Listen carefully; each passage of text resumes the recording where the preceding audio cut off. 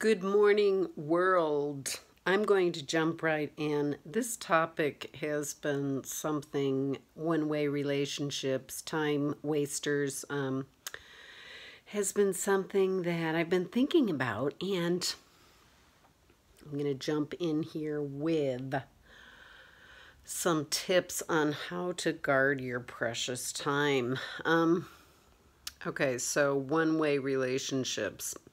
This has taken me a long time to figure out, uh, but I started to notice that I was doing all the work, listening, um, making time in my schedule, doing all the traveling. I mean, because I've been to 36 countries, people assume it's really easy for me to keep doing that and they don't have to do any traveling themselves. So I get a lot of, when are you coming back to Portugal, Thailand, anywhere? Well, not today. I have things going on. Um, and then you start to notice that that's always going to be true of that relationship. Okay, some people can't leave their countries, but don't always put it on the other person. Like it's so easy to buy a thousand dollar train, uh, plane ticket, carve out days of time, and then the burden of traveling. Hey, I travel a lot, but the part I don't like about traveling is the traveling. It's not that easy.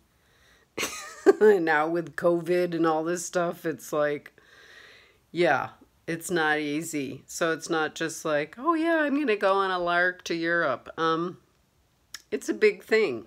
So don't assume the other person is always going to take that on and you never have to travel to see them. If it's so important, then you can travel. Um, Okay, so that's a big one, but the other things are more subtle. It's like you realize that you're the only one listening. Um, the topic of conversation is always about them, never about you for longer than five seconds um, because the topic of conversation cannot be shifted off of them. So I don't have those relationships anymore, and I can figure out pretty fast um, now in like the first or second conversation with someone that they really I've noticed it lately in the past week. I'll say something this has happened like twice in the past week. I've said uh, my feelings or some thought wasn't even heard. I could tell by how they were responding. It it didn't even cross their radar. And I, you know, it's funny. You get better about noticing when someone is listening or they're not listening. And now I'm really paying attention to it. And then I just spend less time with that person and don't waste my breath because it's not like you're having a conversation. You're really just listening to a monologue, um, which is exhausting. Listening is a lot harder than talking. This is a world problem that a lot of people don't seem to understand because they've never listened. So stay away from those people. I wouldn't work with them. I wouldn't have them as friends. Doesn't matter who they are. I'm not going to waste my precious energy. One thing about getting older that's really wonderful is that it's like, wait, my time is finite here in this dimension. I don't have to give any of it to you if I get nothing back. What's in it for you? This is a viable question to ask yourself. What is in it for you? Um, give, give, give. No, don't just give, give, give. You know, in all the volunteer work that I've done, worldwide. The biggest thing I got out of it was actually I got a lot out of it.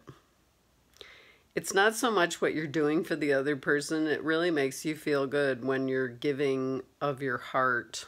Um,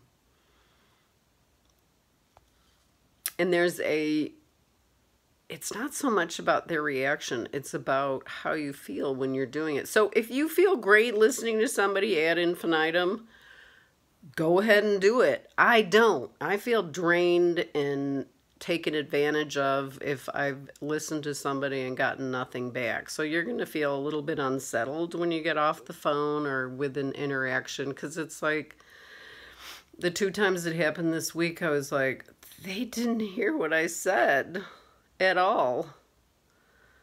And they don't want to because they're um, doing their own thing. They're they're working on something that is more important than listening to you. So let that sink in. Cuz they've decided or they're unconscious or whatever. I don't care what the reason is anymore. If I'm not going to be listened to in an interaction, then I don't need the interaction. So goodbye. Um so back to one-way relationships in your precious time.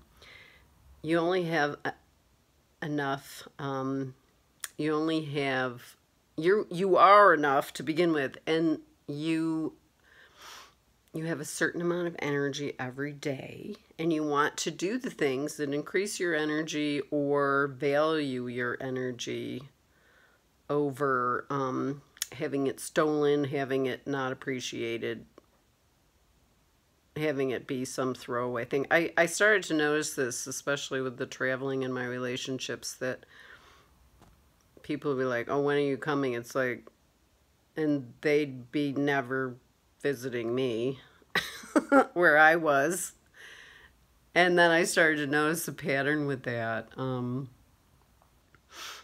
so, yeah, sometimes people can't travel. That's fine. But a lot of times people can. And they just don't want to put the effort. So, I'm going to leave you with this. The effort is what I'm looking at now. It's like if there's no effort coming from the other other side, then an effort can be called uh, like in business, it's they pay you.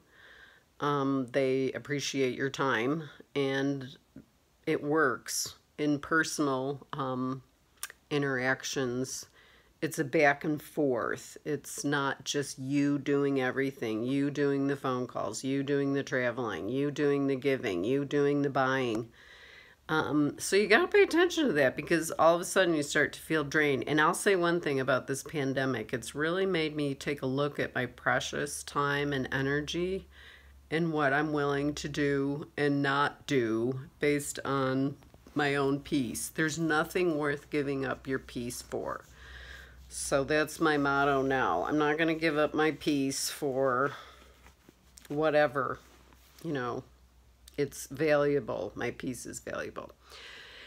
So let me know your thoughts on that and um, how you guard your own precious energy for other people to share as well. And thank you so much for the likes, the questions, the shares, everything. I do appreciate every comment, every um, share, every like, and this is my wonderful community on here, and I love interacting. So I'll see you in the next video.